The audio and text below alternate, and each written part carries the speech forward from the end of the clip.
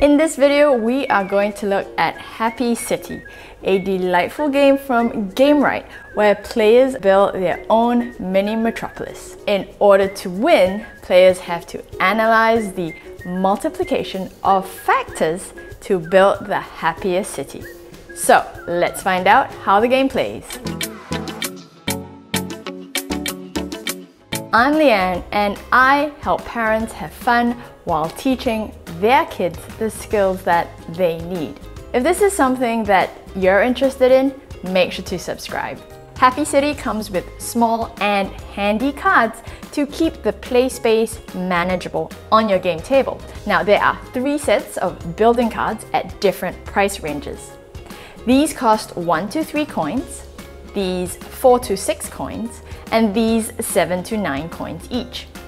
Their backings will indicate how much the buildings would cost, as well as give you an indication of the different probabilities each card occurs in the stack.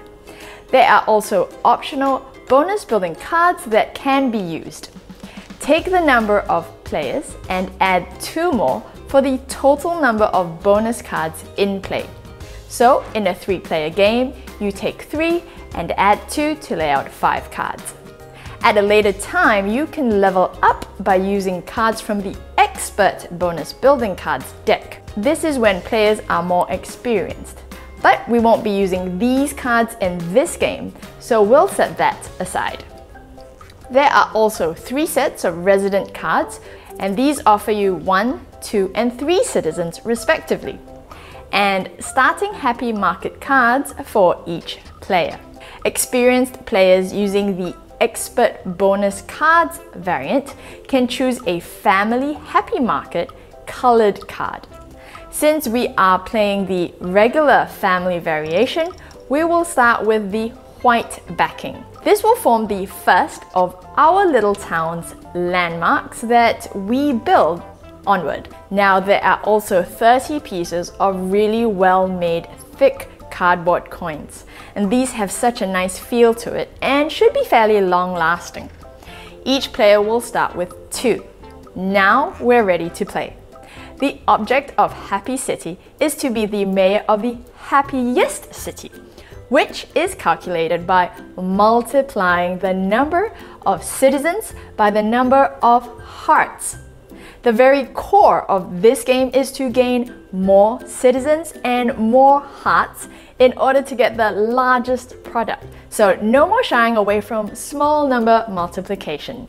It will be a family favorite for those who enjoy city building games like uh, Kingdomino and Machi Koro, but even quicker. It packs in city building, engine building, resource management, tile drafting, and tableau laying, all in just 10 rounds. This is definitely one for families with elementary school going aged kids as well because it's got such a fun and cute design. Obviously, the multiplication is a big factor for us. In each round, players generate income from their buildings equal to the coins shown at the bottom of their cards. Here, my cards indicate a total of three, so I will start my round drawing three coins from the bank. Then players move to the second phase.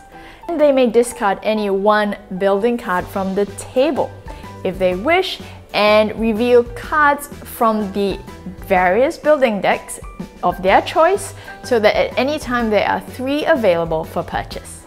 Here I can use my three coins to buy these cards. It's here that players have to evaluate between cards which either increase their citizen factors or their heart factors. You might want to keep an abacus and a scratch pad handy for players who are new to multiplication so that they can rely on those tools while learning the game itself. If I pick a card with two hearts, that will take me to 4 hearts multiplied by 3 citizens, which is 12.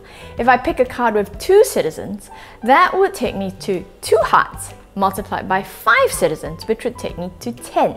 So even though both cards offer me 2 of either hearts or citizens, only one of these cards will be better for me. So I'm going to take the card with two hearts now. And if players buy a card that meets the conditions for an available bonus building card, they may also claim it once during the entire game. They will add that to their tableau as well. Play keeps going on until a player adds their 10th card to the city.